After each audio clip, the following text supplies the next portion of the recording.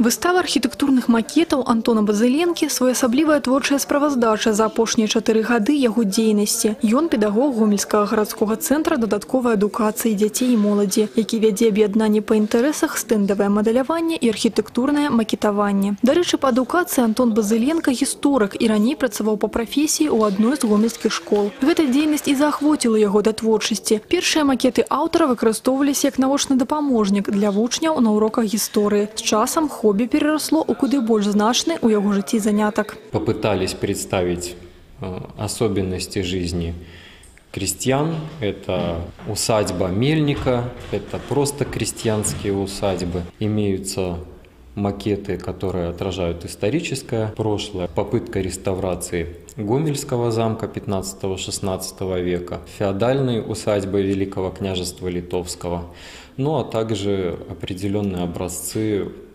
новых э, домов, коттеджей.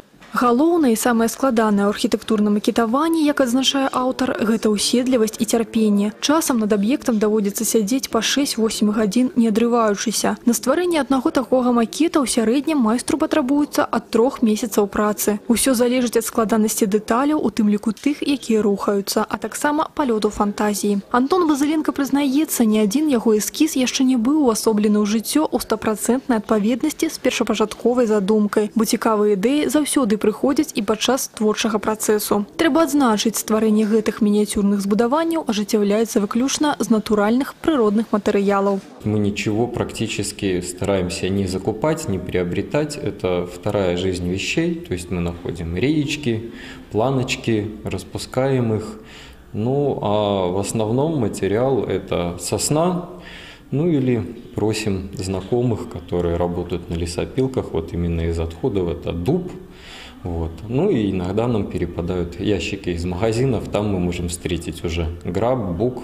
Зараз у аб'яднанні па інтарэсах, якім кіруе Антон Базыленко, займаецца больш за паўсотні рабят. Яны хоць і не прымалі прамы ўдзел у стварэнні прадстаўленых на выставе макетаў, аднак падтрымлівалі свайго творчага настаўніка маральна. Тое, што дзеці з вялікім задавальненнем наведваюць заняткі і імкнуцца пераймаць уменні і навыкі майстра, адзначаюць і яго калегі. Прежде чем конструировать любой замок, нужно знать элементы черчения, знать элементы пространственной композиции.